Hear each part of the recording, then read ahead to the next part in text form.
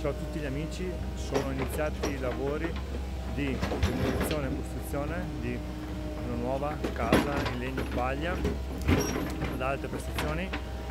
Qui vedete eh, le macerie di quella che era la casa qui eh, esistente in pietra e ora l'abbiamo demolita e sul sedime della casa andremo, della vecchia casa andremo a ricostruire una nuova casa e questo è un vantaggio per quale motivo? Perché andiamo ad utilizzare tutte le detrazioni fiscali del sisma bonus ed eco bonus quando appunto abbiamo un di questo tipo eh, dove andiamo a costruire una nuova casa dopo aver fatto la demolizione si può accedere alle detrazioni fiscali e perciò si può portare in detrazioni le, detrazione le spese dei lavori di progettazione e anche di costruzione.